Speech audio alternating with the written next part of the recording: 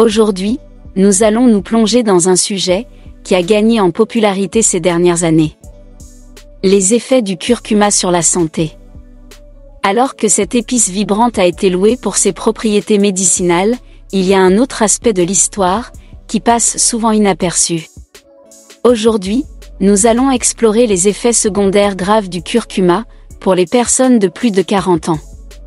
Le curcuma, avec son composé actif curcumine, est reconnu pour ses propriétés anti-inflammatoires et antioxydantes. Il a été associé à un risque réduit de maladies chroniques, telles que les maladies cardiaques, le diabète et le cancer. De plus, la curcumine s'est révélée prometteuse pour améliorer la fonction cognitive et favoriser un vieillissement en bonne santé.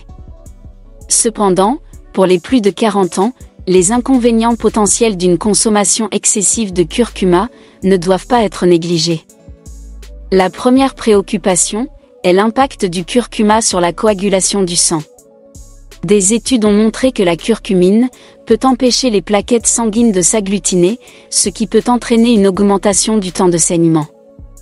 Bien que cela puisse être bénéfique pour les personnes atteintes de certaines conditions, telles que celles à risque de caillots sanguins, une consommation excessive de curcuma peut présenter un risque, en particulier pour ceux qui prennent déjà des anticoagulants, tels que l'aspirine ou la warfarine. Il est important de consulter un professionnel de la santé pour déterminer la posologie appropriée et les interactions potentielles. Ils peuvent vous aider à équilibrer les avantages et les risques en fonction de votre profil de santé individuel. Une autre préoccupation importante est la possibilité que le curcuma interfère avec l'absorption du fer. Le fer est crucial pour la production de globules rouges, et des carences peuvent entraîner de la fatigue et de l'anémie. Malheureusement, il a été constaté que la curcumine inhibe l'absorption du fer par l'alimentation. Si vous comptez sur des suppléments de curcuma, ou si vous consommez de grandes quantités d'aliments riches en curcuma, il est essentiel de vous assurer que vous répondez à vos besoins quotidiens en fer par d'autres sources, telles que les viandes maigres ou les légumes feuilles. De plus, la consommation d'aliments riches en vitamine C avec le curcuma peut améliorer l'absorption du fer, car la vitamine C facilite l'absorption du fer. Envisagez d'incorporer des aliments comme les agrumes, les poivrons et les fraises dans vos repas. Les amis, s'il vous plaît aimez cette vidéo, abonnez-vous, partagez cette vidéo avec les autres, et écrivez un commentaire, car cela nous aide beaucoup. Ou vous pouvez simplement écrire, depuis quel pays vous regardez cette vidéo? Un aspect souvent négligé, est l'effet du curcuma sur la vésicule biliaire. Alors que le curcuma est généralement loué pour sa capacité à favoriser une digestion saine, il peut être problématique, pour les personnes ayant des problèmes de vésicule biliaire. Le curcuma stimule la production de bile, qui facilite la digestion des graisses. Cependant, pour ceux qui ont des calculs biliaires, ou des obstructions des voies biliaires, une production accrue de bile peut exacerber le problème et causer de la douleur. Si vous avez des antécédents de problèmes de vésicule biliaire, il est conseillé de modérer votre consommation de curcuma et de consulter un professionnel de la santé. Ils peuvent fournir des recommandations personnalisées en fonction de votre état spécifique et vous aider à trouver un équilibre entre les avantages digestifs et les complications potentielles. Parlons maintenant d'une autre préoccupation, dont beaucoup ne sont peut-être pas conscients. L'impact du curcuma sur la santé hormonale. Le curcuma a le potentiel d'interférer avec l'équilibre hormonal, en particulier chez les personnes souffrant de troubles thyroïdiens. La recherche suggère que la curcumine peut inhiber l'activité de certaines enzymes impliquées dans la synthèse des hormones thyroïdiennes.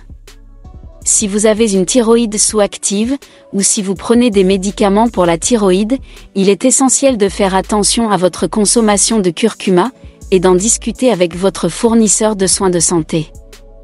Ils peuvent surveiller vos taux d'hormones thyroïdiennes, et ajuster votre médication si nécessaire.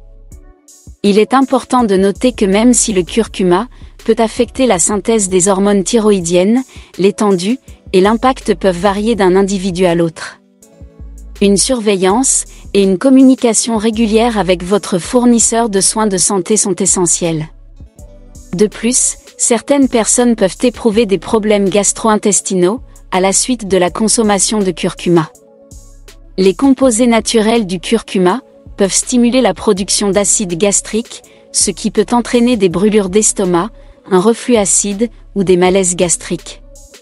Si vous avez des antécédents de troubles gastro-intestinaux, ou si vous êtes sujet à des problèmes liés à l'acidité, il est conseillé de consommer le curcuma avec modération, et de surveiller la réponse de votre corps. Il peut être utile de prendre des suppléments de curcuma avec de la nourriture, pour minimiser le risque d'irritation de l'estomac. Si vous ressentez des symptômes digestifs persistants, tels que des douleurs abdominales, ou des brûlures d'estomac fréquentes, il est essentiel de consulter un professionnel de la santé pour une évaluation plus approfondie. Une autre considération importante est les réactions allergiques au curcuma.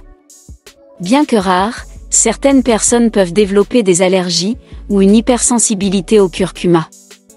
Les symptômes peuvent aller d'une légère irritation cutanée à des réactions plus graves, telles que des difficultés respiratoires ou une anaphylaxie. Si vous ressentez des symptômes allergiques après avoir consommé du curcuma, comme des démangeaisons, une éruption cutanée ou un gonflement, il est essentiel de consulter immédiatement un médecin. Un allergologue peut effectuer des tests pour confirmer l'allergie et fournir des conseils pour éviter le curcuma et ses dérivés. Enfin, une supplémentation à long terme en curcuma à haute dose peut avoir un impact sur la santé du foie. Bien que le curcuma soit généralement considéré comme sûr, des quantités excessives de curcumine peuvent provoquer une toxicité hépatique chez certaines personnes. Ce risque est particulièrement pertinent pour ceux qui ont déjà une maladie du foie ou qui prennent des médicaments qui affectent la fonction hépatique. Il est important de garder à l'esprit votre consommation de curcuma et de discuter de toute préoccupation avec votre professionnel de la santé. Ils peuvent surveiller votre fonction hépatique, grâce à des tests sanguins de routine, et fournir des conseils sur la consommation sur de curcuma. Il convient de noter que l'incorporation du curcuma dans votre alimentation par le biais des aliments est généralement considérée comme sûre et offre une approche équilibrée pour en récolter les bienfaits. Maintenant que nous avons exploré ces effets secondaires graves du curcuma, discutons de la façon de l'intégrer à notre alimentation, tout en minimisant les risques potentiels. Incorporer du curcuma comme épice dans votre cuisine est généralement considéré comme sûr et apporte un ajout savoureux à de nombreux plats. Une cuillère à café, environ 2 grammes de poudre de curcuma par jour, est une quantité raisonnable pour que la plupart des individus en ressentent les bienfaits pour la santé, sans en faire trop.